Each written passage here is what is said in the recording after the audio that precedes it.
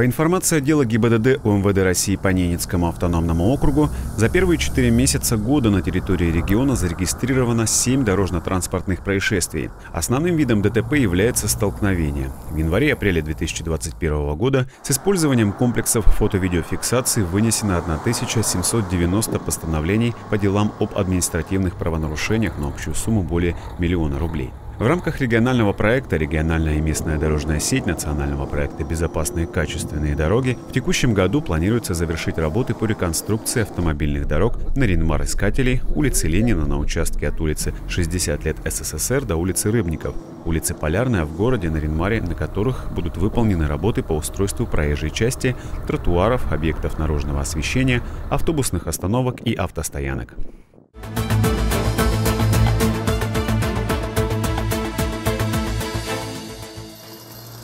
Жители региона могут отдать свой голос за проекты по благоустройству общественной территории в районе дома номер 34 по улице Первомайской, обустройству прогулочной зоны в Сахалинском лесу и устройству спортивной площадки в микрорайоне Старый аэропорт. Проект, который по итогам голосования получит наибольшую поддержку, будет реализован в 2023 году в приоритетном порядке, остальные в соответствии с рейтингом в последующие годы. Последний день рейтингового голосования 30 мая. Принять участие в голосовании можно на сайте 83.городсреда.ру, а также через волонтеров. Представители волонтерского штаба ежедневно работают в ДК «Арктика», а также выезжают на предприятия и в учреждения по заявкам. В рейтинговом голосовании могут принять участие жители округа с 14 лет. Проголосовать можно только за один объект. Общественные территории будут благоустроены в рамках федерального проекта формирования комфортной городской среды национального проекта «Жилье и городская среда».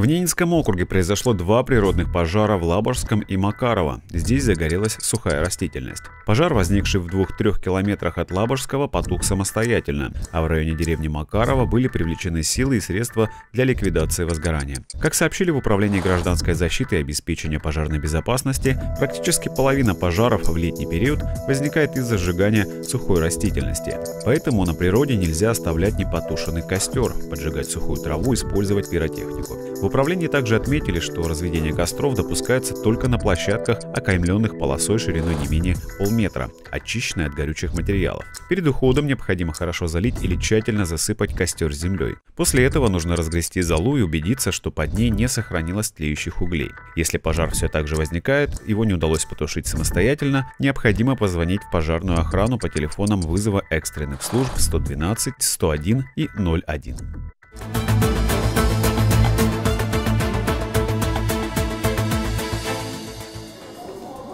Портал госуслуги предоставляет обширный перечень услуг, связанных с вакцинацией от коронавируса. На госуслугах в разделе «Мое здоровье» жители Ненецкого округа могут записаться на вакцинацию, получить электронный сертификат о ее прохождении, а также сообщить о проблеме, в том числе подать жалобу, если сертификат не приходит. Отметим, электронный сертификат о вакцинации могут получить только пользователи портала с подтвержденной учетной записью. Поэтому перед проведением вакцинации необходимо сначала зарегистрироваться на госуслугах, подтвердить учетную запись, а уже уже после делать прививку. Варианты подтверждения учетной записи указаны на портале в разделе «Частые вопросы». Согласно статистике, через портал госуслуги на вакцинацию от COVID-19 записалось более тысячи жителей региона. О своей проблеме сообщили 60 пользователей, из них 13 об отсутствии сертификата. Прививку от коронавируса сделали уже более 8 тысяч человек. Кампания по вакцинации продолжается.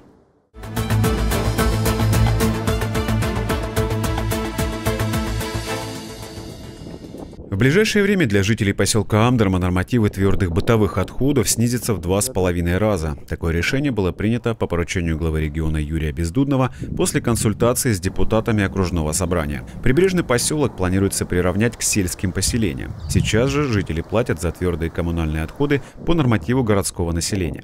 Как было анонсировано, нормативы снизятся в два с половиной раза уже с 1 июля. Напомним, на сегодняшний день ежемесячная плата за услугу по обращению с ТКО для жителей на Наринмара, поселков Искателей и Андерма составляет 115 рублей 27 копеек в месяц на каждого человека, проживающего в жилом помещении. Для сельских жителей в два раза меньше – 50 рублей 27 копеек на человека в месяц. Также почти в полтора раза планируется снизить отдельные нормативы ТКО для малого бизнеса, специализирующегося на торговле. Это должно положительно отразиться и на ценах в населенных пунктах округа.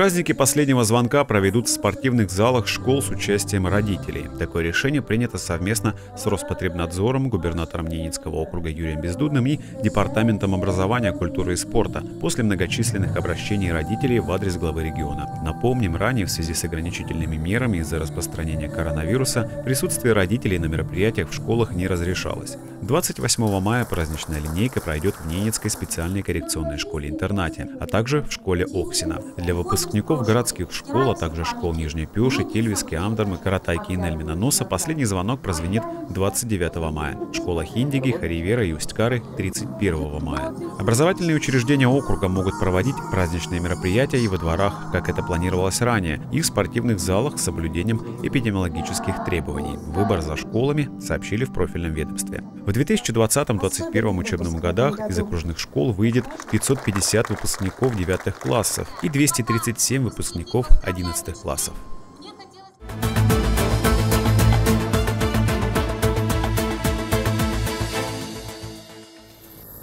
В Ненецком округе началась кампания по доставке детей, обучающихся в Наринмаре, на каникулы в места их постоянного проживания. Первый школьный вертолет в поселение региона отправился 24 мая в западном направлении. Спецрейсом отвезли на каникулы детей в Коткино, Нижнюю Пешу, Ому, Несь, Чижу, Шойну и Кию.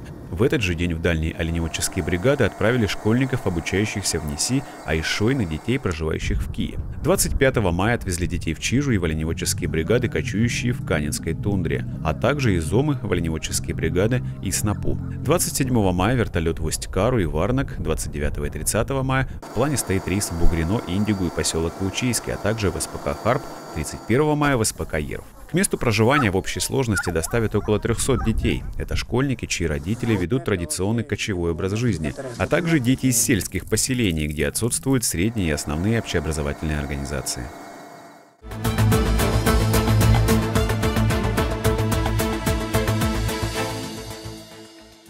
Департамент внутреннего контроля и надзора Ненецкого автономного округа напоминает о запрете продажи алкогольной продукции на территории региона в День защиты детей 1 июня. Запрет на розничную продажу алкогольной продукции, в том числе пива и пивных напитков, сидра, медовухи, 1 июня действует в соответствии с постановлением об установлении дополнительных ограничений времени, условий и мест розничной продажи алкогольной продукции на территории Ненецкого автономного округа. Запрет не распространяется на розничную продажу алкогольной продукции, осуществляя осуществляемую организациями и индивидуальными предпринимателями при оказании ими услуг общественного питания. Нарушение вышеуказанных норм ведет наложение административного штрафа на должностных лиц в размере от 20 до 40 тысяч рублей, на юридических лиц от 100 до 300 тысяч с конфискацией алкогольной продукции. Помимо Международного дня защиты детей в Ненецком автономном округе, розничная продажа алкоголя запрещена также в День молодежи 27 июня и в День знаний 1 сентября.